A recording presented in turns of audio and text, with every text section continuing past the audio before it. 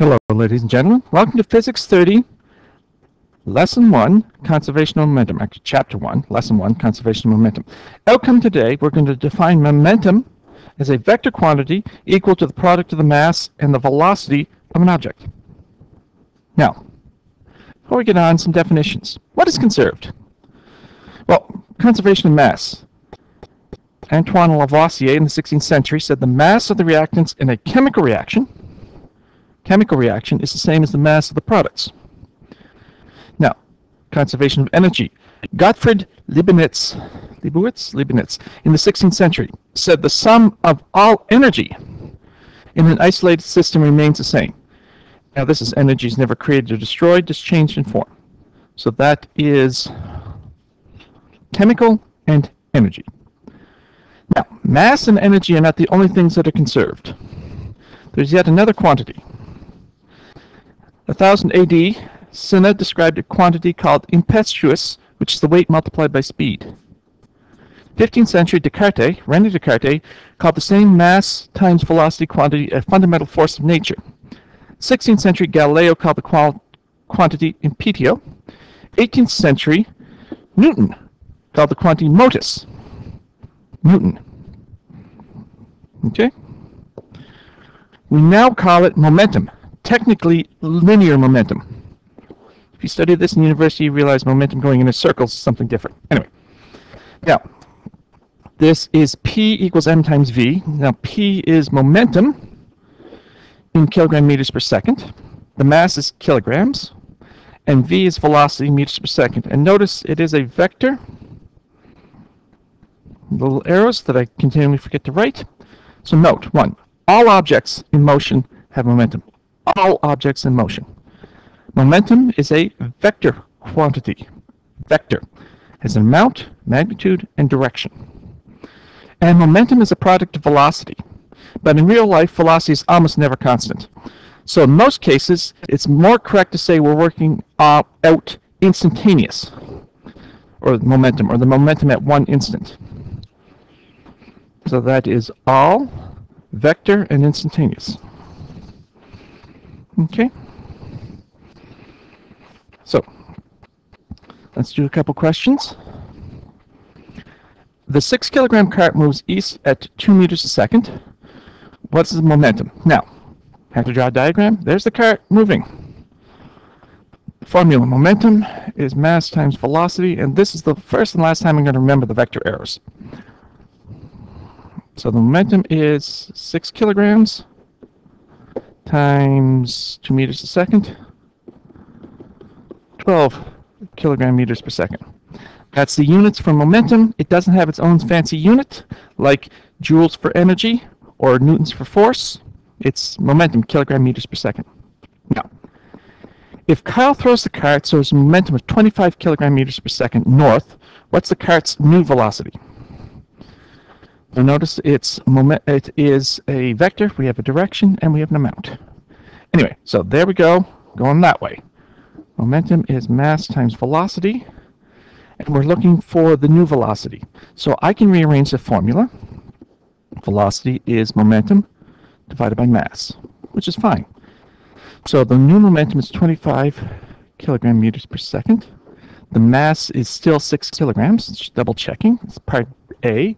Yes, 6 kilogram cart. So that comes out to be 4.16666, 4.17 meters per second, or 4.2 meters per second, depending how you round it off. Probably two decimal, oh sorry, probably two significant digits, the 25 kilogram meters per second. Okay, so that's about as hard as the, well, almost as hard as the math gets. Now, a second example. A 50 kilogram boy is driving his 220 kilogram snowmobile at 9.5 meters a second, 40 degrees north of west. What's the momentum of the system?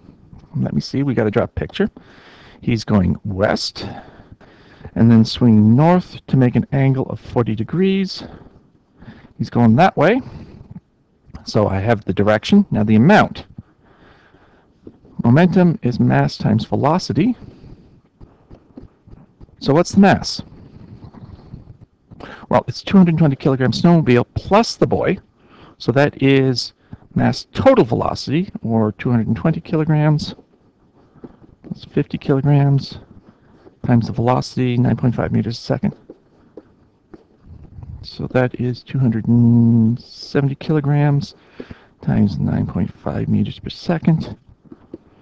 And that works out to be dun, dun, dun, 2565 kilogram meters per second.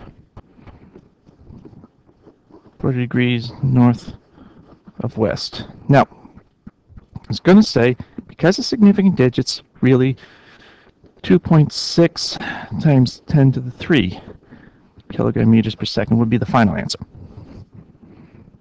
Okay? I don't get too hung up on significant digits.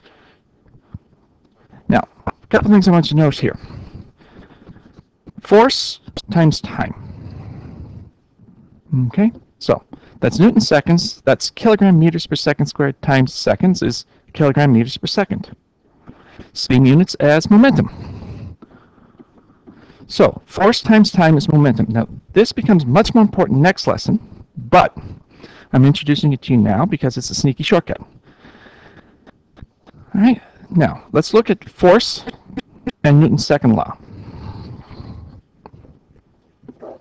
Force equals mass times acceleration. Acceleration is velocity divided by time. Change in velocity is v final minus v initial. So that can be rewritten as mass v final minus mass v initial. That's momentum. Okay, so if we look at Newton's second law, we can derive a formula. Net force equals momentum, change in momentum divided by time. Now, this means, sorry, excuse me, my apologies. sorry. This means any change in momentum causes a change in force or vice versa. So, any change in momentum causes a change in force, or a change in force causes a change in momentum. All right? So, a force of 45 newtons accelerates a 3 kilogram object, sorry, a 5 kilogram object from rest to 20 meters a second. How much time passes as the object accelerates? Well, draw a picture, the object, force applied. There we go. Now, force is change in momentum of a change in time. Now, I get lazy. What's the initial velocity? Well, v initial is rest is zero. So v initial, so momentum initial is zero. So this is momentum final over time. We don't need v initial, sorry, momentum initial because momentum initial is zero.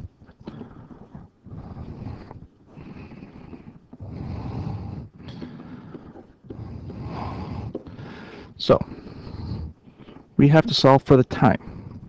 Now I can do v initial, v final acceleration, displacement time, but momentum is a beautiful sneaky shortcut because the momentum is force times time. Mm-hmm. Now, or, sorry, solving for time, my apologies. Solving for time, time would be momentum divided by force. Mm, let me see.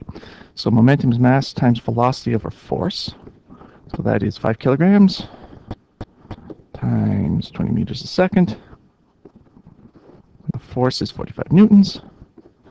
Now, sorry, I, I was blathering there. I apologize. Well, I blather a lot. Get used to it. Here, momentum is force times time, so I can solve for time. So this is 100 kilogram meters per second divided by 45 newtons. So the time is 2.22 seconds. Okay? So far, so good? Now, uh, video is getting kind of long, so I'm going to pause it here. So if you've got any questions, read the, the notes, watch the video again. Otherwise, let's go on to the second part, and then we'll finish this, and you can work on your homework. Any questions, shoot me an email. Otherwise, good luck.